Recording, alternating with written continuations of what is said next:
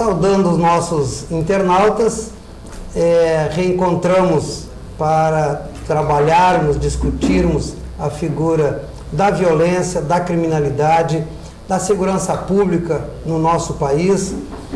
O que preocupa a todos, a insegurança, ela tem atingido todas as camadas sociais. E as camadas sociais independem é, tanto social quanto econômica, enfim, é, temos acompanhados aí pelo Brasil inteiro, cada dia mais o ser humano mais violento, mais agressivo. A gente acompanhava essa semana é, uma reportagem da Grande São Paulo, se não me falha a memória, é, de um senhor de idade avançada. Ele vendia balas né? e foi assaltado por uma quadrilha que retirou todos os doces, chocolates, enfim, da sua Kombi, trancou dentro da Kombi e colocou fogo. Né? É, até a última informação que eu tive, estava em estado gravíssimo, com perto de 90% do corpo com queimaduras. É, também ventila a, em todas as, as, redes de comunicação a figura também de que nós temos é, um homicídio, um duplo homicídio, é, de um jovem que foi cobrar a droga, dívida de droga é, de um outro traficante, não estava, e acabou matando os dois irmãos, uma irmã de 13 anos é, e um irmão é, desse que estava devendo a ele de 9 anos. Então, nós é, começarmos a citar, nós vamos ver muitas violências, muitos atos é, de desrespeito à vida, é, algumas questões que cabe discutir. E para esse debate, para essa conversa bem informal, é, hoje um grupo extremamente qualificado, é, já puderam, os nossos internautas já puderam observar, três lindas mulheres que me acompanham, né? estou feliz, alguém deve perguntar, estou feliz sim. Né? É, então deixa eu apresentar as nossas amigas, nossas debatedoras para essa noite. À minha esquerda, então, é Flaviana Suzy Teixeira Giopo, é psicóloga, pós-graduada em Psicologia do Trabalho e das Organizações. À minha direita, aqui, bem próximo de mim, é Mara Martins Elfeld, mais ou menos isso, né? assistente social. E na minha, bem à minha direita, nossa convidada é, para esse debate, Tatiane Chuse, da Cruz, assistente social. Então, é, eu, eu quero começar com a Mara, né? é, pela, pela tua experiência, pela tua vivência, é, pela tua profissão. O que nós temos hoje nessa sociedade? Né? Nós temos o que? Uma sociedade é, falida, nós temos é, uma família doente, nós temos é, valores perdidos, nós estamos perdendo a fé, é, estamos longe de Deus, é, nós estamos perdendo o amor é, entre as pessoas. o que, que se pode tirar é, de, de, de, um diagnóstico desse conjunto todo é, social, é, o que, que nós temos nesse processo? Qual é a dificuldade? É, avançamos nessa, nessa violência, nessa criminalidade, né?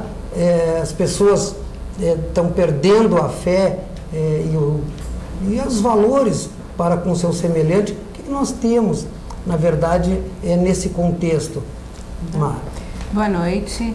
Né? Boa noite, internautas.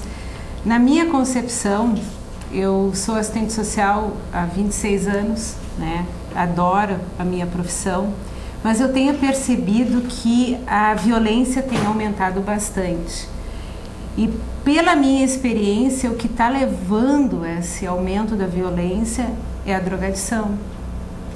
Uma educação onde os pais não estão assumindo o seu papel enquanto pais, estão passando essa paternidade para terceiros e quase sempre é o traficante, né?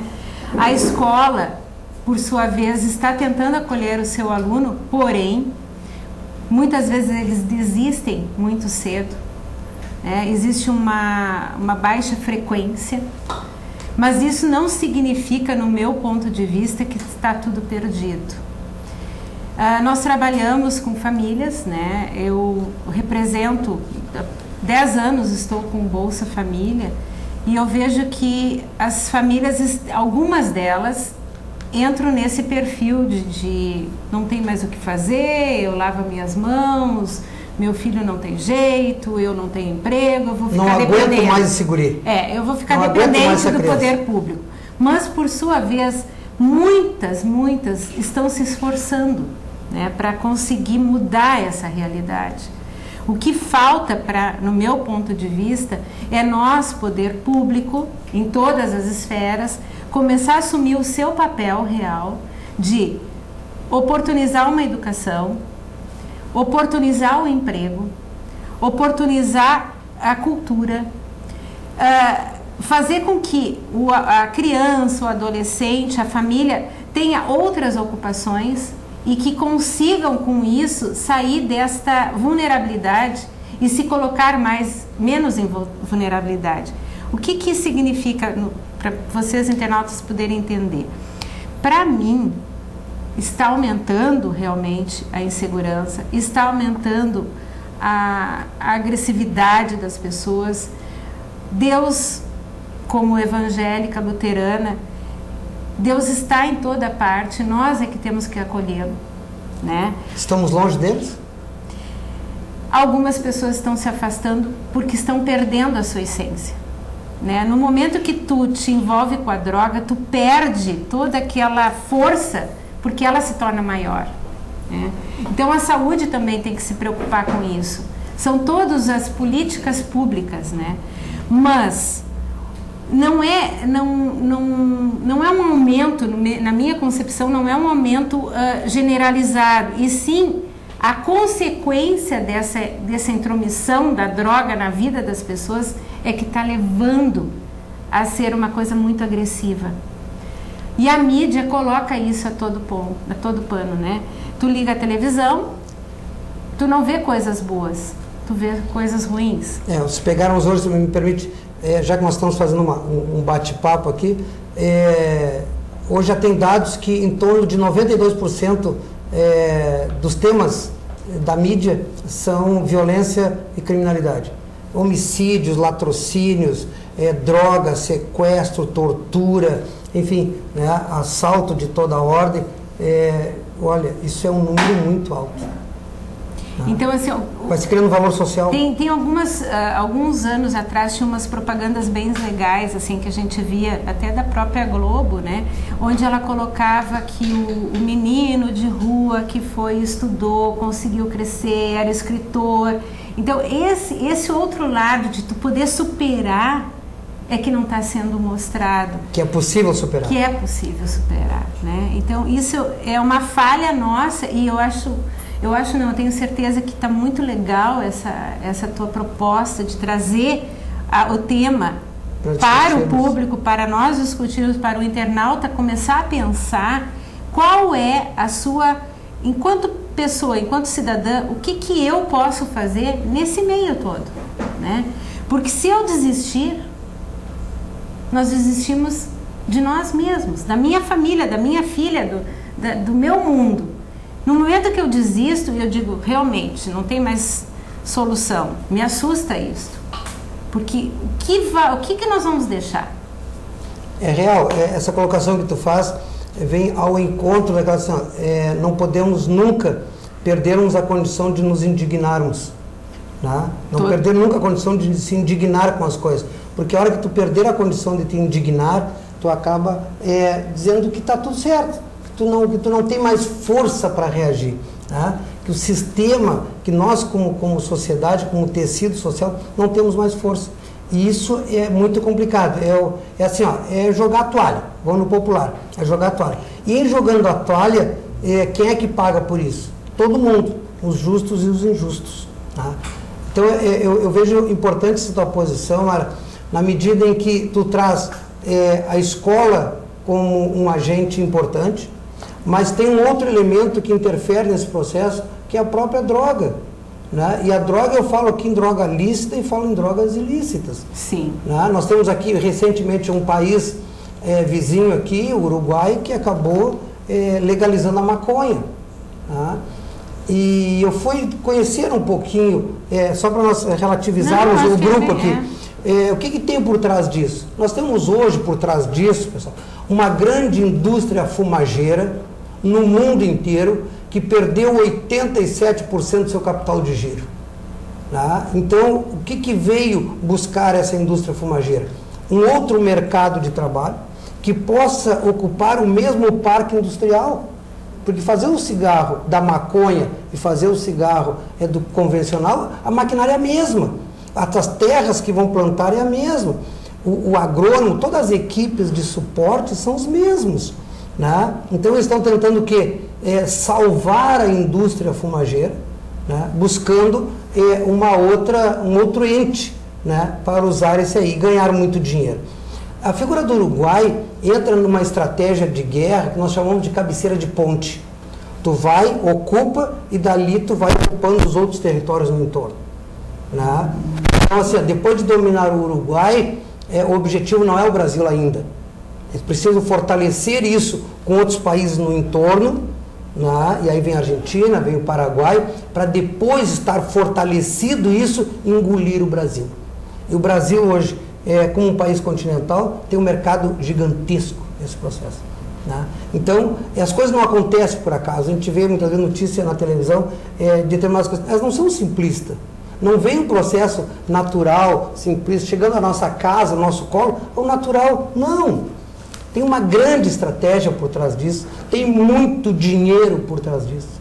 Né? Muito, muito dinheiro. Né? Então, sempre digo assim, ó, o caos interessa sempre para alguém.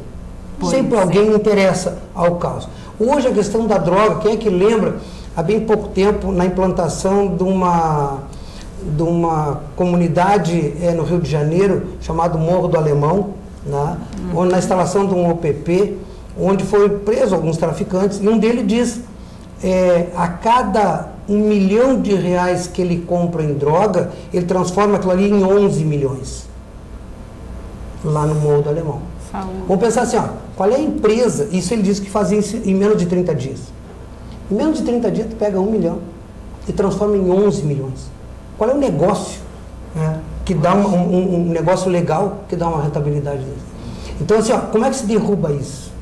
Tá? Primeiro que nós temos que entender que não tem solução simplista para problema complexo. Começa por aí.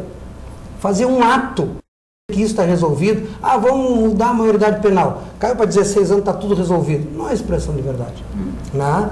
É, se não atacarmos em todas as áreas, e eu acho que, e, e aí vem todos os entes, né? Tem que ser tratado. Acho que a família tem problema, a escola precisa estar mais instrumentalizada, mais preparada, né? a, a, a, a, fé precisa estar mais perto das pessoas, né? nós precisamos potencializar mais é, é, o amor entre as pessoas, eu vejo é, como a fé, a, a, igreja, a crença, enfim, como um dos elementos importantíssimos para contemplar isso.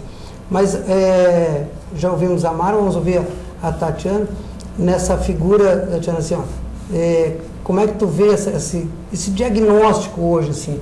É, tem saída, não tem?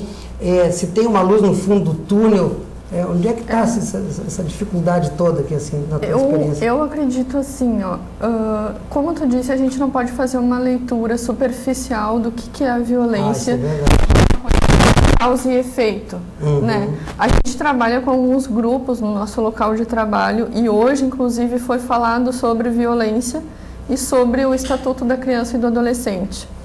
Então, eu sempre procuro trazer que a violência ela é inerente ao ser humano. Né? É, uma, hum, é uma dimensão do ser humano. Claro. Não tem como tu uh, anular Separar. isso. Então, mas de que forma a gente vai canalizar isso, né? Até que ponto a gente pode expressar essa violência? Porque a violência também faz parte da sobrevivência do ser humano, né? Então, a gente também falou sobre o ECA, né? E muitas pessoas se posicionam contra o ECA e tudo mais em função disso, dessa questão da maioridade penal, de não sei o quê. E também tem a questão da exploração da mídia em relação à violência. Né? Aquele dado que tu trouxe é, de... Complicado. 92% das notícias é. serem notícias de violência de criminalidade. Exatamente. É e tem um sensacionalismo muito grande em cima disso e qual é o interesse das pessoas que fazem. É por isso que tem muitos casos hoje de justiça com as próprias mãos, que a gente está vendo muito né, na TV isso. Então, a gente sempre estimula as pessoas que a gente atende nesses grupos a fazer um olhar crítico da situação né, de não fazer um pré-julgamento do senso comum, de que, né, não, o que está por trás disso, quais são as outras opiniões. Tem duas versões, todas, todas as histórias têm dois lados, né? Sim. É três, quatro, cinco é. Anos, né? Então, acho isso, assim, que a gente tem que fazer uma leitura mais aprofundada do que, que é a violência e qual é a relação do ser humano com a violência. E essa questão que a Tatiana colocou para nós, ela é importante porque o ser humano ele é dotado de bondade e de maldade nós podemos escolher o que nós queremos potencializar ou não. Né? Uhum. E, e, isso é, tem um conjunto de elementos que vai fazer com que potencialize um ou outro. Né? Mas nós vamos para o nosso primeiro intervalo. É, na, no retorno, então, vamos ouvir a, a posição da nossa psicóloga é, para trazer a sua, a sua posição, a sua concepção dentro desse tema. É, um minutinho já voltamos.